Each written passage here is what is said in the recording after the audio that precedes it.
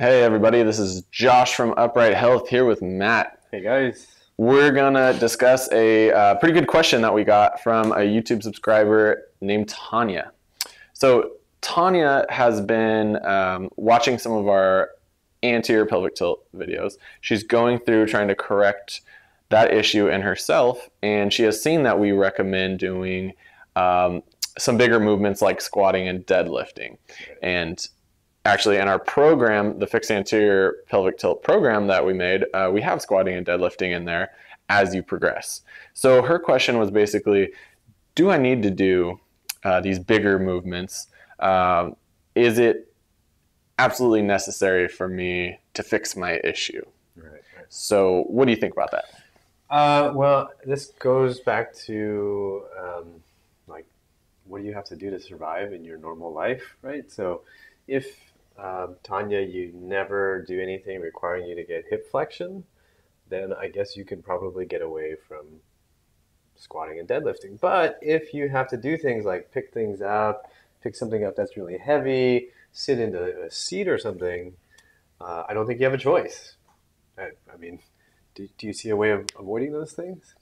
No, I agree, right? Those are kind of just basic human functions.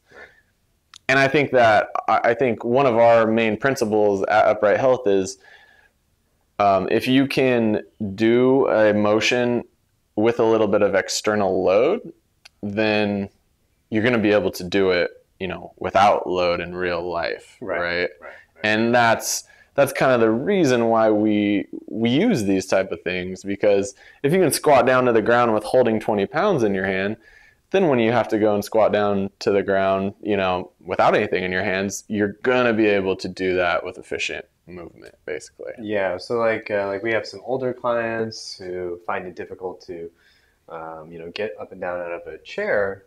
And you know as you gradually train them you give them weight they can get up and down out of a low low position holding weight, which is you know box squat or even eventually a normal squat, they start to notice that when they go sit down on a seat and they go sit down for brunch and they get up out of that chair, it's a lot easier because now they've gotten used to being able to handle that external load. They're used to being able to handle weight. And when you take that weight away, no problem. You can get up, move around. It's, yeah, it's awesome. you don't have to have something to push off of or right. whatever.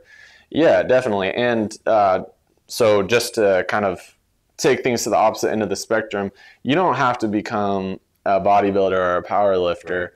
Um, you know, you don't have to get super into squatting and deadlifting and get on a barbell and try to push PRs every week. That's not what we're asking you to do.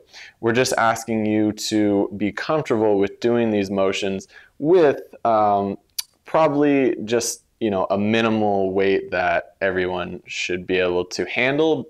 Um, based on you know what your uh, you know yeah. height, weight, all that stuff, right? Right. Yeah. Right. So so a lot of times we look at you know how much you know how much do you weigh, how tall are you, and then what's reasonable to expect for you. So you know if you can pick up your own basically your own body weight, you're generally pretty good, right? unless your body weight is massively out of proportion to how tall you are, being able to pick up your own body weight off the floor in a deadlift it's pretty reasonable. You can get there fairly safely without being very, um, you know, very tricky with your programming.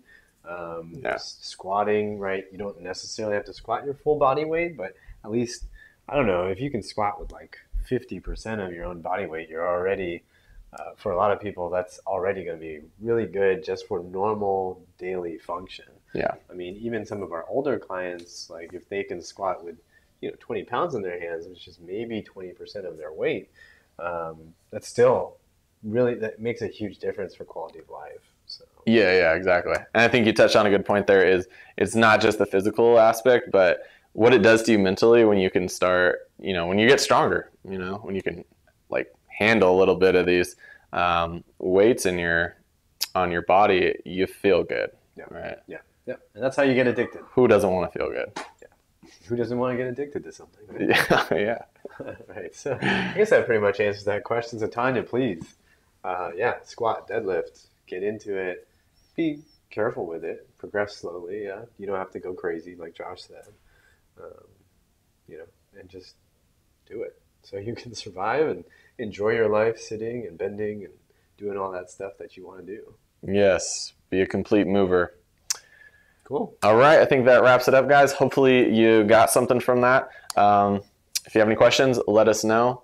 And remember, pain sucks. Life shouldn't.